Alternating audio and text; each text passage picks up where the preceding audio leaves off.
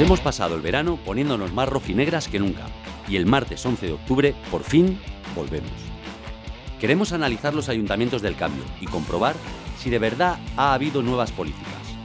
¿Han cumplido con sus votantes? ¿Han podido quitarse de encima a la casta o han tenido que negociar con ella? ¿Se pueden cambiar las cosas desde los ayuntamientos o el sistema se lo impide? No os perdáis nuestro debate en Rojo y Negro Televisión, el martes 11, a las 21 horas, en Canal 33 y en rojoynegrotelevisión.org. Os esperamos.